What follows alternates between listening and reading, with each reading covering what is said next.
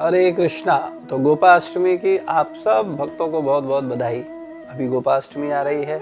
जिस दिन भगवान ने गायों को चराने की सेवा ली थी और माता यशोदा पहले कृष्ण छोटे छोटे बछड़ों को चराने के लिए जाते थे।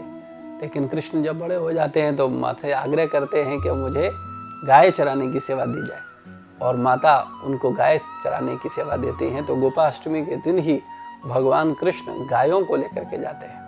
और माँ गायों की पूजा करो, ये माता यशोदा गायों की पूजा करवाती हैं और बोलते हैं कि लो, ये पादुका पहन करके जाओ जंगल में। तो कृष्ण बोलते हैं कि नहीं, ये पादुका पहन करके अगर आप हमें पादुका दे रही हैं तो हमारी गायों को भी पादुका दीजिए।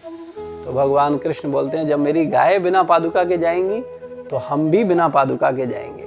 तो उनका ये प्रेम देख करके माता, गाय माता और ब्रज की गोपियाँ सब बहुत आह्लादित होती हैं कि कृष्ण गाय माता से कितना प्रेम करते हैं। कि माता गाय जब जूते पहनेंगी, पादुका पहनेंगी, तभी हम पहनेंगे और भगवान नंगे पैर ही गाय माता को सेवा करने जाते थे। लेकिन गाय माता ने जब देखा कि हमारे कृष्ण नंगे पैर आ रहे हैं तो नौ लाख गाय जब चलती थी तो वो भूमि को सॉफ्ट कर देती थी, जिससे कि उनके कृष्ण को किसी प्रकार की असुविधा न हो। तो ये है भक्त और भगवान का प्रेम। भक्त भगवान को सुख देना चाहते हैं और भगवान अपने भक्तों को सुख देना चाहते हैं।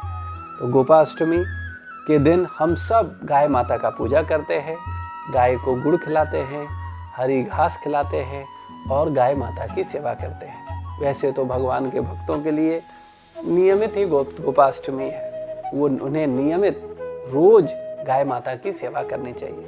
लेकिन जो लोग किन्हीं कारणों से आध्यात्मिक ज्ञान के अभाव में, आध्यात्मिक चेतना के अभाव में नियमित गाय की सेवा नहीं कर पा रहे हैं, उन्हें कम से कम गाय माता को प्रसन्न करने के लिए, भगवान कृष्ण को प्रसन्न करने के लिए गोपाष्टमी के दिन गाय माता की सेवा करनी चाहिए और भगवान कृष्ण का आशीर्वाद लेना चाहिए, माता गाय का आशीर्वाद लेना चाहिए।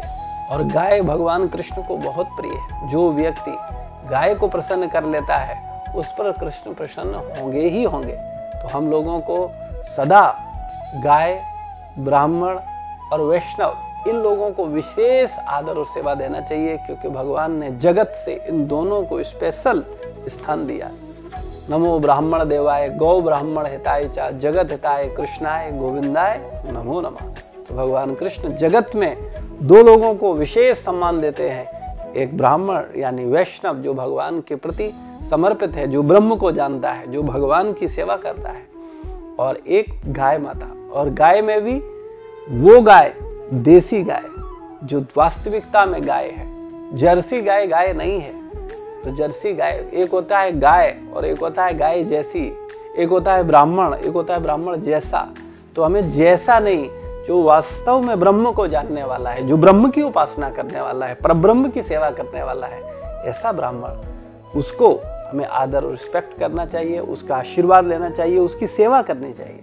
इसी प्रकार से गाय की जब हम सेवा करेंगे तो गाय की कृपा पात्र बनेंगे और गाय माता की कृपा होगी, ब्राह्मण का कृपा होगा तो जगत और कृष्ण का कृपा तो होगा ही होगा। श्रील प्रभुपाद की जय। गोपाष्टमी की आप सबको बहुत बहुत बधाई।